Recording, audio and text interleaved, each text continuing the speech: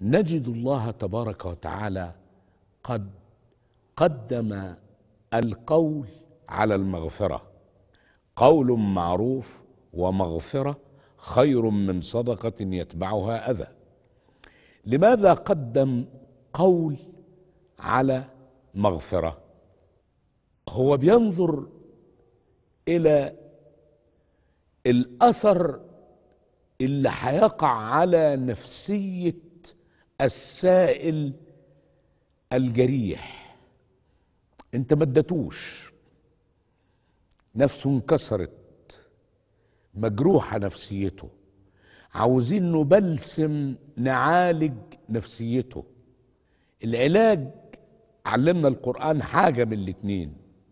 يا كلمة جميلة طيبة اعتذار مهذب. له؟ أو إن كان أساء في الكلام يعني محدش معاه فلوس إلا أنت. تسامحه تتجاوز.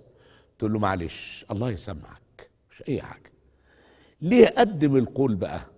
لأن القول أسرع وأوضح في إشعار السائل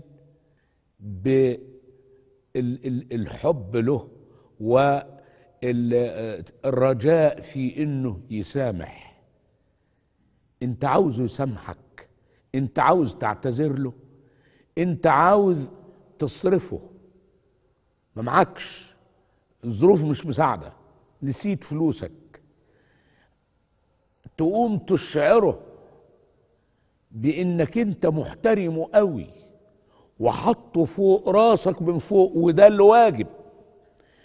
مش لأن ربنا اختارك واختصك بالمال دونه تتأله عليه وعاوز تركب على دماغه من فوق. ما ينفعش. الذي أعطاك يمكن أن يعطيه والذي أغناك قادر على أن يغنيه لكنها أقدار الله في كونه. خلقه كذلك لحكم وجعله كذلك لحكم وأنت كنت كذلك أيضا لحكم. والموفق فيكما من يلتزم بهدي الله سبحانه.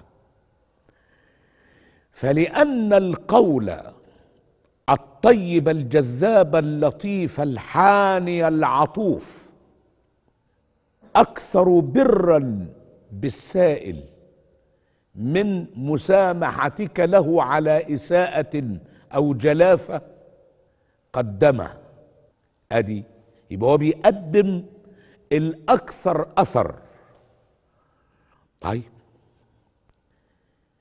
ولأن المغفرة هتيجي بعد إساءة من السائل. هو الأول سألك. أنت هتعتذر له. ممكن يتطاول. عليك أن تغفر. سأل. ما معكش تدي تعتذر. تطاول تراضي وتسامح. هي دي أخلاق الإسلام. طيب ليه وصف؟ سؤال تاني أهو. لماذا وصف الله القول؟ فقال قول معروف. ولم يصف المغفرة. قال ومغفرة بس. ما وصفش. ليه؟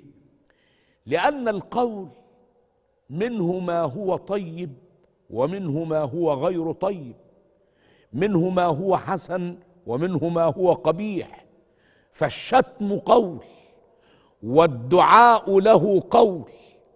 لذلك خص القول بالوصف فقال معروف يعني معروف جماله وطيبه ودفئه وعطفه في المجتمع الذي تعيش فيه.